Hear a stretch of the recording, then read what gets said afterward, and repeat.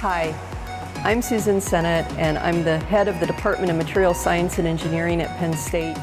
There's a very strong relationship between research and teaching in material science and engineering, especially at Penn State. Our faculty are at the foremost at their, of their fields in research and this extends into the classroom and laboratory instruction. What our students learn here at all levels, at the bachelor's, master's, and doctoral levels, is at the very forefront of the field along with a very thorough understanding of the fundamentals. Graduates are really well prepared for whatever comes next and they go on to do amazing things, be it industry or national labs or academia.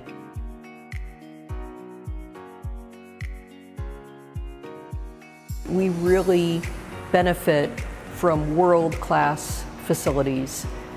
We have an amazing administrative home in the newly renovated Steidle building. And as you can see from the labs behind me, they are truly world-class and they enable world-class research and education. We also benefit from an outstanding shared instrumentation lab, the Materials Characterization Laboratory, all hosted within the Millennium Science Complex and administered by the Materials Research Institute at Penn State.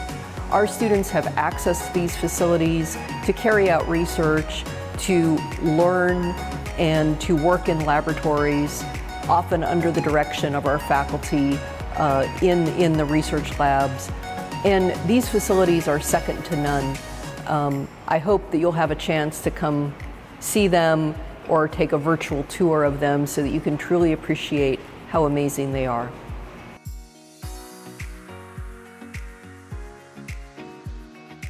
For several years now, the National Science Foundation in the United States has rated Penn State number one in materials science and number two in materials engineering.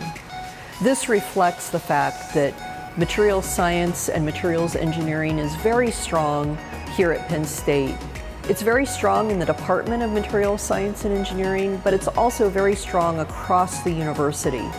Of course, students, faculty, staff, and friends of material science benefit from the fact that the whole entire university here is really very focused on excellence in material science and excellence in materials research.